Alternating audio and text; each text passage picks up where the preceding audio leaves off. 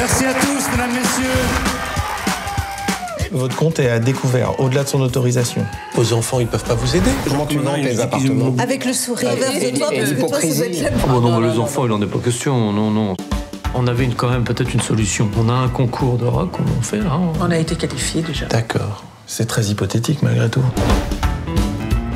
Vous aviez des, des appréhensions par rapport à un rapport éventuel à- Bah, je sais pas trop comment ça va se passer. Une première fois est toujours euh, douloureuse, désagréable, pleine de malentendus, extrêmement décevante. Oui, oui, oui. Ok. Voilà. Le ministre, comment il va? Combien à l'étranger D'une centaine de milliers d'euros. En tout cas, j'ai volé personne, j'ai arnaqué personne. Mais des ministres de l'économie. Monsieur le ministre, quel est votre plus gros défaut? De dire la vérité.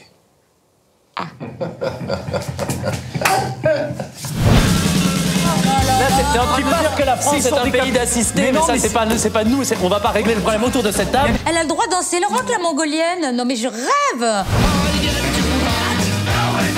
Il faut mettre 22 milliards sur la table. Alors on peut taper sur tout ce qui bouge, mais de la solidarité avant tout. On ne veut pas euh, diviser les Français. On veut bien sûr un pays uni.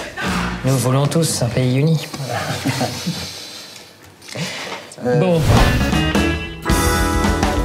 Il faut jamais être politiquement correct.